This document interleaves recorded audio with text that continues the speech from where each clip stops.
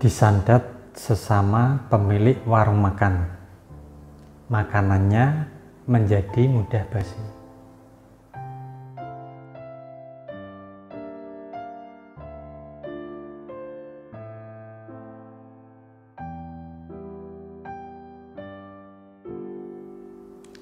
Assalamualaikum warahmatullahi wabarakatuh.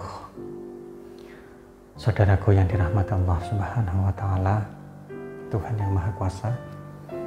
Semoga kita semua senantiasa senantiasa diberikan kesehatan, dilancarkan segala urusannya dan dijauhkan dari balak maupun musibah. Amin amin ya rabbal alamin. Nah, dalam kesempatan kali ini saya akan sedikit sharing ya tentang apa yang sudah dialami oleh klien saya ya sebut saja namanya itu adalah Pak Ahmad Pak Ahmad itu saya lupa nih tepat tepatnya itu kapan.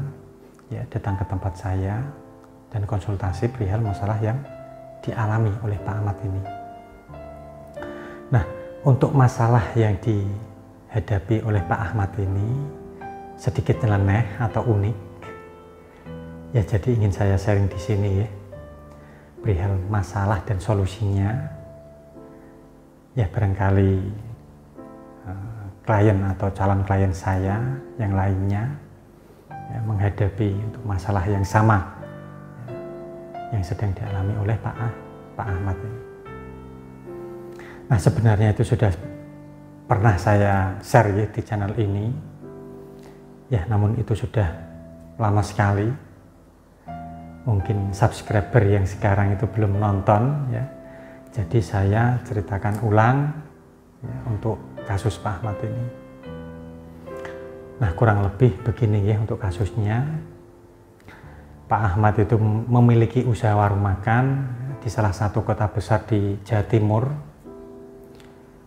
Alhamdulillah itu usahanya ya, sudah berjalan dengan lancar dan berkembang secara normal. Namun di bulan kedua tahun ini ya, ada masalah yang menimpa usahanya. Ada kejadian-kejadian aneh yang mengakibatkan usahanya itu tidak berkembang. Nah, malah cenderung itu merosot. Dan kejadian-kejadian kejadian tersebut itu beragam ya. Ya mulai dari bau busuk ya, yang setiap sore itu tercium di sekitar warung usaha Pak Ahmad. Terus kemudian makanannya yang cepat basi, padahal jika di logika makanan tersebut itu fresh, baru dimasak. Tidak seharusnya itu basi secepat itu. Dan kemudian itu tidak satu atau dua kali ya, ditemukan benda-benda keras yang seharusnya itu tidak ada di makanan tersebut ya seperti paku atau besi kecil dan masih banyak kejadian kejadian yang aneh seperti itu yang semakin lama ya tentu mempengaruhi penghasilan dari usaha Pak Ahmad ini nah puncaknya itu adalah pernah hampir satu minggu ya, orang-orang yang membeli makanan dari warung Pak Ahmad ini tuh sakit perut setelah makan di warung Pak Ahmad ini. Nah, hal ini tuh terjadi hanya kepada pelanggan saja. Ketika Pak Ahmad, ya, Pak Ahmad sendiri atau karyawan warung ketika memakan masakannya itu tidak terjadi apa-apa atau baik-baik saja. Nah, dari sini itu saya bisa menyimpulkan bahwa usaha milik Pak Ahmad ini terkena santet usaha.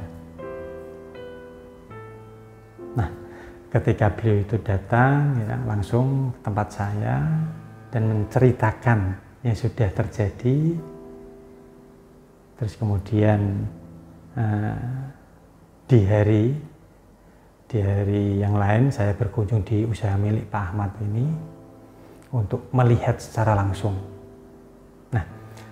dari sini saya itu bisa mengetahui siapa yang menjahili usaha milik Ahmad ini. Ya mohon maaf nih tidak dapat saya sharing di sini. Bahkan ke Pak Ahmad sekalipun itu tidak saya kasih tahu. Saya hanya menawarkan ya ada beberapa solusi untuk warung Pak Ahmad ini. Nah solusinya itu banyak sekali. Ya karena masalahnya itu sedikit kompleks ya.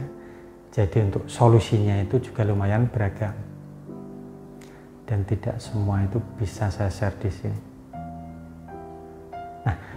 yang bisa saya share di sini atau di video ini itu adalah untuk mengatasi permasalahan tersebut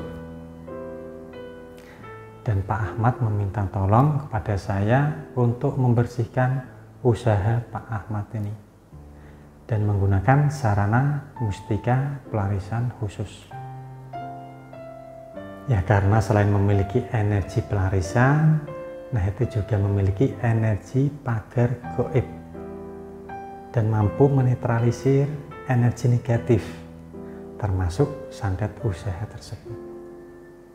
Nah, jadi ada dua manfaat yang dirasakan oleh Pak Ahmad ini ya usaha Pak Ahmad ini yaitu pengaruh santetnya itu akan hilang, sirna.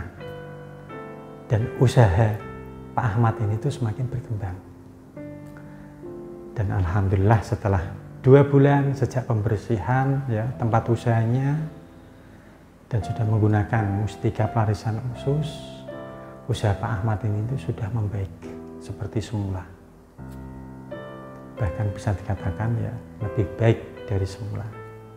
Nah, itu jika dilihat dari omset yang didapatkan oleh Pak Ahmad sekarang. Alhamdulillah. Nah, saya rasa cukup jelas ya. Untuk cerita ini semoga bisa memberikan ya pencerahan lah untuk Anda semua para pejuang dagang.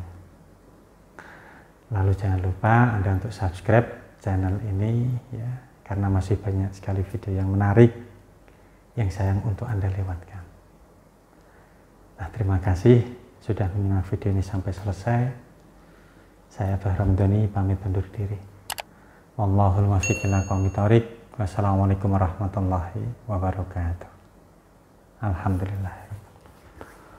Allah ya Rahman ya Rahim. Allahumma sholli ala sayyidina Muhammad wa ala ali sayyidina Muhammad. Alhamdulillah.